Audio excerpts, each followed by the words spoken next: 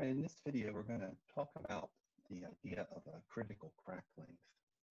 So we've seen the um, conditions for fracture.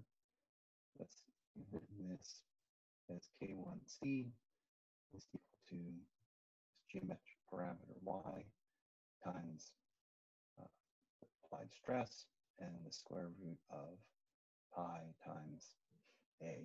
So if we rearrange this and solve for the stress, which is the fracture stress, we get K1C over pi A.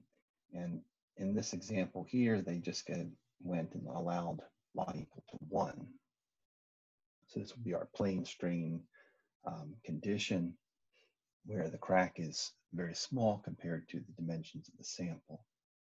So if we, if we take a look and plot this fracture stress as a function of A, right, we're going to walk along this curve here.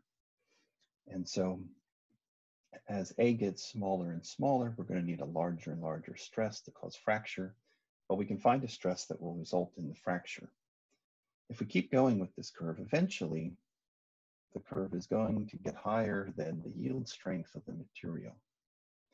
And that is that point at which this fracture stress value is exactly equal to the yield strength is where our mode of deformation is going to switch over to yielding. So in this region here, the crack tip will blunt out, and so we won't have those high stress intensities anymore. And in front of the crack tip, we'll have a, a yielding zone. And so that's the idea of a critical uh, crack length. Okay, so rearranging our fracture toughness equation, we could solve for the critical crack length. And you can see here it's just the fracture uh, toughness, plane strain, mode one fracture toughness squared over pi times the yield strength squared. And that gives us this point here. All right, so that's our critical value. So again, uh, crack smaller than that will just result in yielding of the material. And so the, the material will uh, can be used in design and it will fail in a, in a different predictable way. It'll yield and go ductile. But once you get cracks larger than that value, then we have uh, brittle failure or fast fracture. So let's take a look at that value a little bit more. So what, you know, what size do we use as a, a standard crack size in a material? Because in the design, we're going to assume that there is a crack in the material or a flaw of some size. So what size makes sense? Well, it depends on the technique that you use uh, to monitor the sample. So for example, if we were to use uh, visual inspection okay, in the laboratory or in the field, it says here we've got a defect size needs to be greater than 0.1 millimeters in order to be able to observe it. And so we could assume then that the crack size that's already in the material is just 0.1 millimeters, for example. And then we could go ahead and calculate the stress that the sample can maintain before we get failure. Now we have to use this, we might want to put some, uh, well, we definitely want to put some uh, safety factors in here.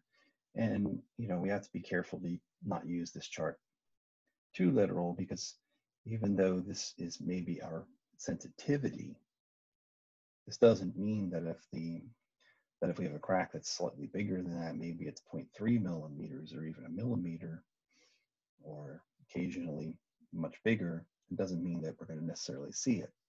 That's going to depend upon whether that surface is painted and the crack is hidden, um, whether it's dirty, whether the light um, wasn't good enough, so it was missed for some other reason. So we have to be a little bit careful with that. One way to, that you can try and avoid some of that with at least the visual inspection is use a dye penetrant test. You can see here we get much better sensitivities. And I've included a video in our uh, the video series there in Canvas for the dye penetrant test. So you can take a look at that. It's actually pretty interesting. All right. So again, we're talking about this uh, critical crack size for material, right? And again, if our, if our crack in the material A is less than this critical size, then we have uh, ductility. It'll behave in a ductile way. And if it's greater than this critical size, then we have fracture. Okay, so on this chart, what we're plotting here is the fracture toughness by the yield strength. Remember this, this critical size was given by the toughness squared over the yield strength squared times pi. I believe I've got that right. Yeah. All right. And so I have a plot here of K1C versus sigma Y. And that means I could put lines on this plot. Okay, plot a line on here where each point on this line corresponds to a critical crack size of a thousand millimeters. Okay, so all we've done was plug in for this one point, the K1C value, the sigma Y value here, and put it into our equation and we've calculated the critical crack size. And so this is kind of a nice way to, to look at things. You can see that there, there are actually materials, looks like the copper alloys, that are crossing uh, into this 1000 millimeters, in other words, a meter. So that's going to be a very ductile material that can withstand a meter crack size before it goes brittle.